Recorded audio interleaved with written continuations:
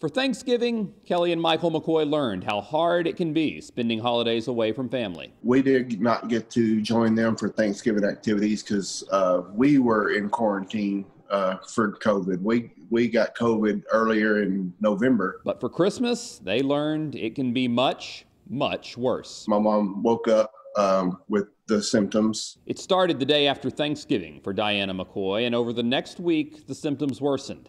She died on December 9th. Days later, Michael called his father, Dennis. I could tell he wasn't right. He was struggling to breathe. I called 911, and then by Monday evening, he passed away. Two parents, married 52 years, taken just six days apart by COVID 19.